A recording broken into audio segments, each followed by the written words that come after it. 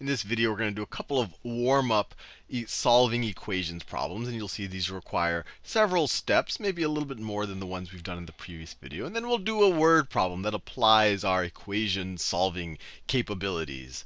So here we have 7 times w plus 20 minus w is equal to 5. So let's see if we can solve this. And like all, all things, there's multiple ways to solve these. I'll just solve it the way that seems most natural to me. So one thing I like to do is I like to distribute the numbers out. Because if I distribute the numbers out, I'll get a 7w, and then I can subtract w from there. So maybe I can merge the w terms somehow. So this 7w plus 20 I can rewrite as 7w plus 7 times 20. Remember, distributive property. So plus 140.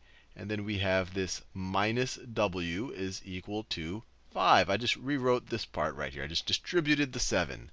And now, just like I talked about, we can merge. We can take 7w, and from that we can subtract a w. So if you take those two terms, you get 6w. If I have six, 7 of something and I take away one of that something, I have 6 of that something. So I have 6w plus 140 is equal to 5. Is equal to 5. Now I want to get rid of this 140, because then I'll have 6w's equaling to something, and I'll be able to divide by 6 and all of that. So to get rid of 140, I can subtract 140 from both sides of the equation. And I'll do it in pink minus 140, not, not a minus 6w. So I'm just subtracting 140 from both sides of this equation. If something equals something, something minus 140 is going to equal something minus 140. We have whatever you do to one side, you got to do to the other side. So the whole point here was for these two to cancel out. You're left with the left side, with just 6w is equal to 5 minus 140. Well, that's negative 140 and 35. And now we can divide both sides of this equation by 6, which is equivalent to multiplying by 1 sixth. And you get w is equal to, see, negative 135 over 6.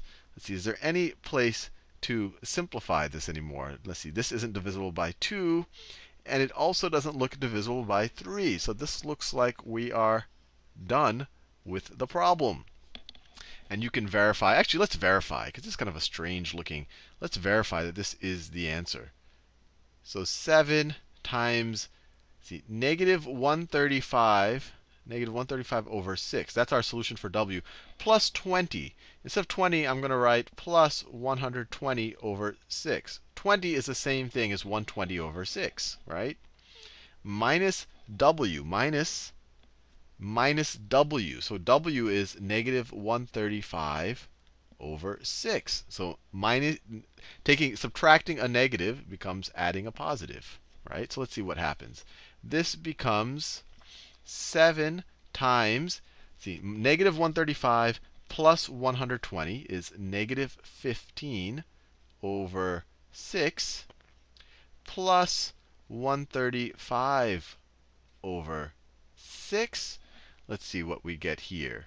So then we get 7 times 15. So let me go over here. What is 7 times 15? It's 70 plus 35. It's, so it's negative 105. This right here is negative 105. Negative 105 over 6. That is that right there. Plus 135 over 6. Plus 135 over 6. What does that become? This becomes 30 over 6, which is equal to 5, which is exactly what it needed to equal to. It is equal to 5, so we got the right answer. My spider sense was wrong. I was, we did it correctly, even though we got this strange looking answer. Now let's do this problem. So once again, I like to distribute out the 9. Actually, we don't have to distribute it out. There's multiple ways to do this. Maybe we'll do it both ways. So the first way I like to do is distribute out the 9 so I don't have to deal with fractions. So you get 9x minus 18, just distributed the 9, is equal to 3x plus 3. Now we want to get the x terms together somehow. Let's get them together on the left-hand side. So let's get rid of the, this 3x on the right-hand side. And the best way to get rid of it is to subtract 3x from the right-hand side. But if we do it from the right-hand side, we have to do it from the left-hand side as well. So I'm subtracting 3x from both sides. The left-hand side, 9x minus 3x is equal to 6x. And then, of course, you have your minus 18 is equal to 3x minus 3x. That just disappears. Those cancel out, and you just have the 3 left over. Now, there's multiple ways you could do this. I mean, one fun thing, well, let's just, let me just do it the most traditional way. We could add 18 to both sides. 18 to both sides so that the, the 18 disappears from the left-hand side. So then you are left with 6x, right? These two guys cancel out, is equal to 3 plus 18, which is 21. Divide both sides by 6 you get x is equal to 21 over 6. Or if you divide the numerator and denominator by 3, you get 7 over 2. And you are done. Now, I said that there's multiple ways to do this problem. Let me do it another way here in orange. So you have 9 times x minus 2 is equal to 3x plus 3. Well, I see a 9. I see some 3's. What if I just divide both sides of this equation by 3? So if I divide that side by 3, and I divide all of these terms by 3, what do I get? This becomes 3 times x minus 2 is equal to x plus 1. Maybe at this point, if I want, I could, I could distribute this. So this becomes 3x minus 6 is equal to x plus 1. I could subtract x from both sides of this equation. So I get 2x minus 6 is equal to 1. Remember, I subtracted that from both sides, so it disappeared on the right-hand side.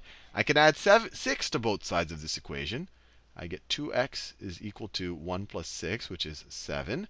Divide both sides by 2, you get x is equal to 7 over 2. I went through this a little bit faster, but really I just wanted to show you that as long as you do le le legitimate operations, you're going to get the same answer. And you could check, verify that this is indeed the correct answer if you like. Now we have a word problem. Let's see if we can tackle this. Lydia inherited a sum of money. She split it into five equal chunks. So let me just say, let's say m is the amount of money she has. So she split it into five equal chunks. So let me say Lydia's money. Lydia's money. All right, that she inherited. Inherited. Inherited. Inherited money. She splits it into five equal chunks. She invested three parts of the money in a high interest bank. So how much did she invest in the high interest bank? So in the high in the high interest high interest bank, how much did she invest? She divided it into three into five equal chunks, and she inv invested three of those chunks into a high interest bank account. So she took her money, divided into five chunks. So this is each of the five chunks, and she put three of those chunks. Or you could say she took three fifths of her money. You could say it this way. You could say she took three fifths of her money and she put it into the high interest bank account, which adds 10% to the value. So that's how much she originally put in the high interest banking account. She placed the rest of her inheritance plus $500 in the stock market. So how much was that? So in the stock market. So it says she placed the rest of her inheritance. So if she put 3 fifths of it in the high interest bank account, what's left over? What's going to be the 2 fifths? 2 fifths of her money she is going to invest in the stock market, right? You combine 3 fifths plus 2 fifths, you have all of the money that she inherited. But she didn't put just the 2 fifths. She put the rest of her inheritance, which is the 2 fifths M, plus $500. Plus $500 in the stock market but lost 20%. So this is how much she put in, and this is how much she ends up with. So put in, put in is right there, and then ends up, ends up with. So on the checking accounts, if she, if she, if in the checking account, she got, it added 10% of its value. So she started with 3 fifths of her money and it added another 10% of that. So plus, let's say, let me say 0.10 times the amount of money she put in, times 3 fifths of her money. This is how much she ends up with. Her original amount that she put into the account plus 10% of the original amount. It grew by 10%. It added 10% to the value. Now in the stock market, she started with 2 fifths m plus 500 but she lost 20% on that money. So she lost, so minus she loses 0.2, 0.2 for 20%. She loses 0.2 times 2 fifths m plus 500. That's how much she loses on the market. She loses, she loses 20% of this amount of money. Now, at the end, it says if the two accounts end up with the exact same amount of money in them, how much did she inherit? So this and this are going to end up being equal, and we'll have to solve for m. So let's do that. We get 3 fifths m plus, well, let's see, this is the same thing as 1 over 10, right? Let me write it that way 1 over 10. So 1 over 10 times 3 over 5 is 3 over 50 plus 3 over 50m is equal to, I just multiplied the 1 over 10 times 3 fifths, is equal to 2 fifths m, 2 fifths, I want to do it in that same color. Do it in the orange is equal to 2, ah, I keep doing the same weird salmon color. Oh, here, it's orange.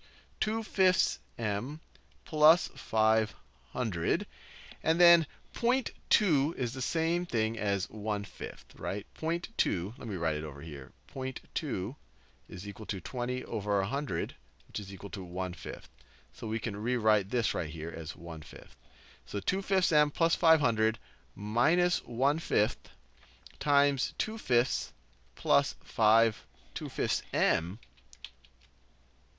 plus 500. So it's a hairy problem, but we'll take it step by step and see that it's not so bad. So right here, let's add 3 fifths of something plus 3 fiftieths of something. Well, 3 fifths is the same thing as 30 fiftieths, right? If I multiply the numerator and the denominator by 10. And now we can add this. 30 fiftieths plus 3 fiftieths is 33 over 50m is equal to, and let's just simplify this a little bit, 2 fifths m plus 500. Distribute the negative 1 fifth. So you get negative 2 over 25m. And then negative 1 fifth times 500 is minus 100. Let's simplify this even more. The left-hand side is still 33 over 50m is equal to, and now we have we have these coefficients on our m terms right here. Those are our m terms. So you could view it as 2 fifths minus 2 25ths m. That takes care of that term and that term. I just factored the m out. And then you have the 500 minus 100. So that's plus 400. Now let's see, 2 over 5. If we multiply the numerator and the denominator by 5, this becomes 10 over 25. Right? So our whole equation is now 33 over 50m is equal to what is 10 minus 2? So that's 8 over 25m plus 400. We're getting close. We're getting close. Now let's get both m terms on both on onto the left-hand side of the equation. So let's subtract 8 over 25m from both sides. Minus 8 over 25m.